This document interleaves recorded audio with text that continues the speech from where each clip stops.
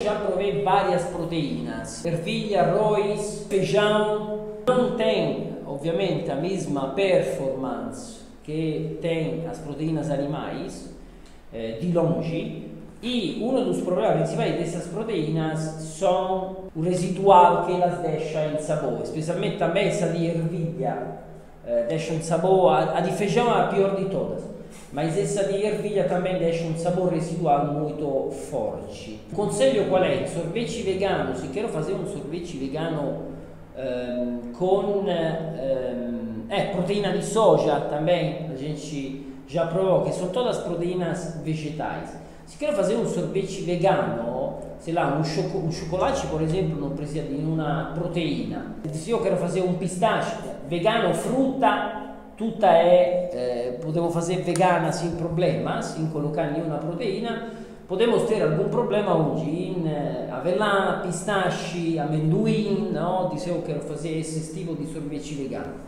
Lembrando che è vegano tudo che non tem nem, eh, nenhum derivado animale, então não deve ter nada a base leite, ni derivados do leite, tipo iogurte, tipo mascarpone, tipo sei lá, queijo Filadélfia, porque estamos falando de produtos animais.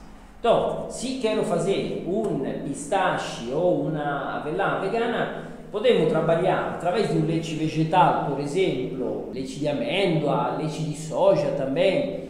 Através disso, colocar proteína de soja, que entre todas eu acho a melhor, Ovviamente in quantità menores, perché também tem um gosto residual bastante forte.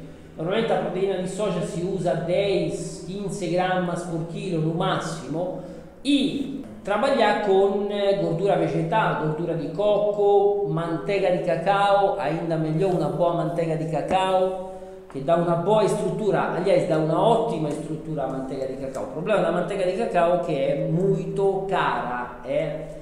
È un, è un prodotto caro, ma eh, depois, essendo un sorvete vegano, ao melhor podemos eh, vender con, eh, con un prezzo un poco mais alto, perché per un pubblico specifico.